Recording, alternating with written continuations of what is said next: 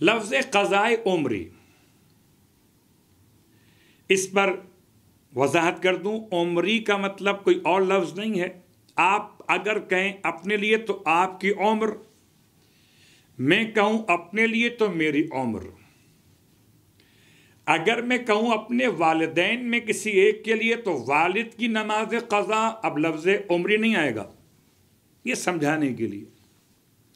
या अपने वालदेन में वालदा की नमाज़ क़ज़ा तो लफ्ज़ उम्र नहीं आएगा। तो वालिद की नमाज़ क़ज़ा या वालदा की नमाज़ क़ज़ा और अपनी नमाज़ क़ज़ा।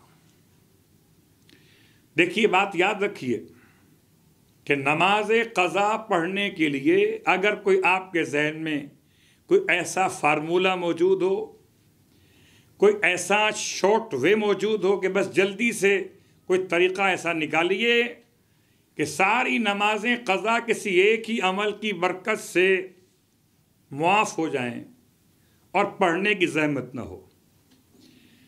तो फिर ऐसा कोई अमल मौजूद नहीं है। सवाब हो सकता है, वो अलग मौजू है। खुद नमाज़ क़ज़ाए उम्र को अंजाम देना पड़ेगा। अब नमाज़ क़ज़ाए उम्र के लिए, जो आप पढ़ना चाहते हैं। ये बात याद दिला, खुदा का बड़ा एहसान है कि उसने कोई इजाफी कफ़ारे के तौर पर नमाज़ बयान नहीं की। जितनी नमाज़ आपकी कज़ा हुई, उतनी नमाज़ आपको अदा करनी है। यानी चार के बदले चार, तीन के बदले तीन और दो के बदले दो। चार नहीं पढ़ सके तो चार पढ़ लीजिए। तीन रकत नहीं पढ़ सके, तीन रकत पढ़ लीजिए। और दो रकत नहीं पढ़ सके, दो रकत पढ़ लीजिए। हद के इस हद तक शरीयत ने फराख दिली का मुजाहरा किया। क्या फराख दिली? कि अगर हालत सफ़र में आपकी नमाज़ कज़ा हो गई तो वो दो रकत नमाज़ जो सफ़र में कसर होने की बुनियाद पर दो रकत थी। जब अपने वतन में उस कसर नमाज़ की कज़ा पढ़ना चाहेंगे तो आपको वतन में रहते हुए वो सहूलत दस्तयाब होगी कि आप उसको चार रकत के बजाय दो रकत ही पढ़ेंगे। बहुत गौर कीजिएगा। मैं फिर जुमला आसान कर देता हूँ। लोग सवाल करते हैं कि नमाज़ कज़ा हुई सफ़र के अंदर और अब ये नमाज़ जब कज़ा हुई तो मैं मुसाफिर था, मुझ पर नमाज़ कसर थी। अब जब मैं इसकी कज़ा पढ़ना चाहता हूँ तो मैं अब शहर में मुकीम हूँ।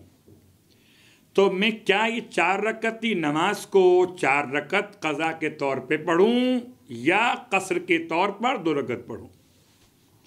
तो शरीयत की फराख दिली है कि नहीं?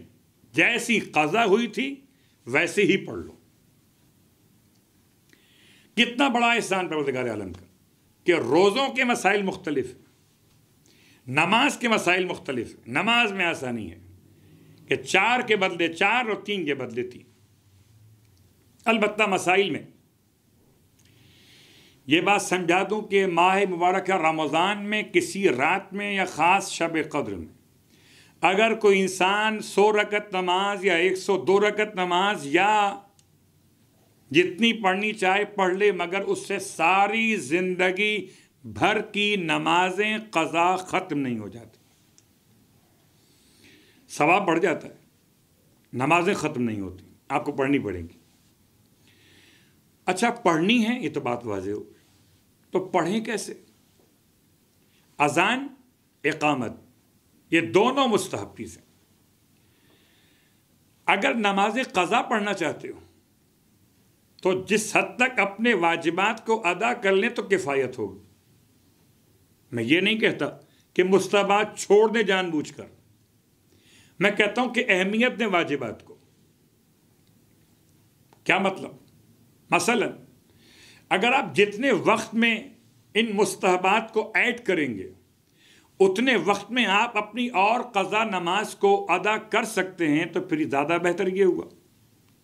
कि इन मुस्तहबात को रोक कर अपने वाजिबात में तवज्जो दीजिए।